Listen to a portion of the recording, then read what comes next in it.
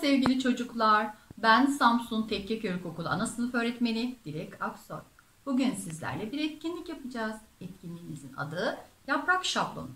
Gerekli malzemeler A4 kağıdım, yaprak ve pastel boya. Sevgili çocuklar, yapraklarımızdan bir tanesini alıp kağıdımızın ortasına yerleştiriyoruz. Sonra parmaklarımız üzerine bastırarak sabitliyoruz. İstediğimiz bir renk pastel boyayı alarak etrafından geçiyoruz.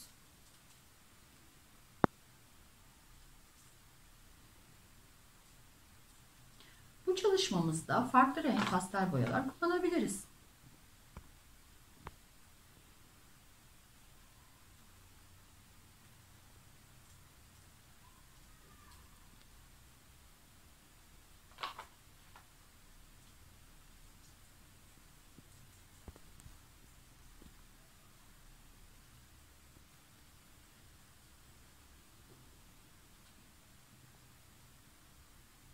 Evet, yaprağımızın etrafından gittik ve şimdi yaprağımızı kaldırıyoruz. Şimdi parmağımızı kullanarak ileriye doğru pastel boyalara götürüyoruz ve yaprağımızın şeklinin daha belirgin olmasını sağlıyoruz.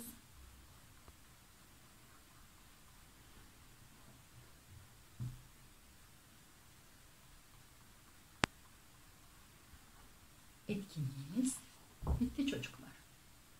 Sevgili çocuklar, sokağa çıkarken maskenizi takmayı, hijyen kurallarına uymayı unutmuyoruz. Hoşçakalın çocuklar.